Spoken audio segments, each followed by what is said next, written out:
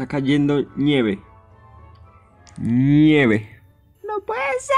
Sí, sí, tenemos a Don Edgar. Tenemos a Don Edgar. Tenemos a Edgar. Tenemos... Eso solo significa una cosa. Buenos días. Días buenos. Yo soy Sebas. Aguapanela.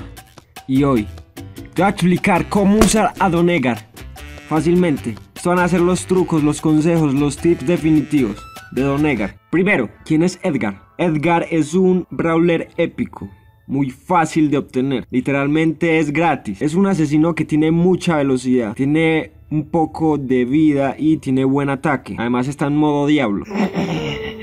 Counters de Edgar. Los counters de Edgar son brawlers como Shelly, Bull, Darryl, Genio, Rosa. Brawlers que tienen buena vida y que atacan mucho son los principales counters de Edgar. Mapas. Edgar es bueno en mapas como robo de regalo, ya que cuando tiras ulti da velocidad. Esto significa que cuando puedas y tengas la ulti, porque además se recarga sola, pues vas a poder lanzarte encima del regalo enemigo y llevártelo corriendo. Atrapa gemas, balón brawl, asedio, zona restringida atraco, mejor dicho. En la mayoría de los mapas está muy bueno, pero en el que está mucho mejor es en robo. Primer consejo, al momento de atacar con Edgar, Vamos a rodear al enemigo, vamos a darle las vuelticas y le vamos a dar puño. Esta es la clave para poder matar al enemigo ya que el otro va a estar fallando los posibles ataques y nosotros vamos a estarlo rodeando con puños. Entonces nos acercamos a la víctima y empezamos dándole en la cara, luego en la espalda hasta que se muera.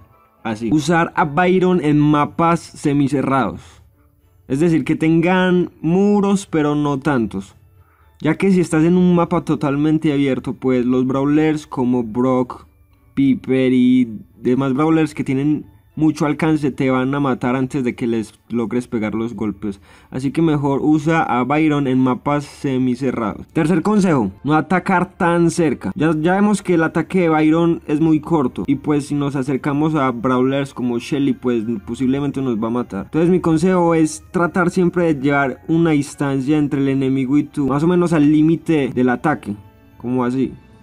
O sea, no te le acerques tanto, solo da caricias con los puños. Esto es un poco difícil, pero con la práctica lo vas a mejorar. No vayas detrás de los demás, porque mientras lo vamos a perseguir, él va a seguir dando golpes hacia atrás. Y pues mientras nosotros nos acercamos, vamos a dejar pegarnos de esos golpes, pero nosotros no vamos a poder pegarle a él. O sea, va a salir ganando el enemigo. Esto pasa mucho cuando al comienzo que sacaron a Edgar todos tenían a Edgar y si uno se ponía a perseguir al otro, pues salía perdiendo uno porque uno recibía los golpes mientras el otro se curaba y uno no podía hacer nada. Cuando estés en mapas como Balón Brawl o Atrapagemas, siempre acecha al más débil. Espera que tengas la ulti y te le tiras en toda la cara y lo golpeas. Este consejo es por si no puedes acercártele mucho a los demás rivales, pues simplemente quédate en un arbusto hasta que se te llene la barra de poder amarillo. Cuando la tengas llena, vas a esperar que un brawler débil se acerque y te le vas a lanzar. Es como el anterior consejo, pero este es más enfocado a supervivencia. No te la vas a tirar a un brawler fuerte como Bulls, simplemente espera que llegue uno más débil y lo matas. Así vas como subiendo la base de la cadena alimenticia.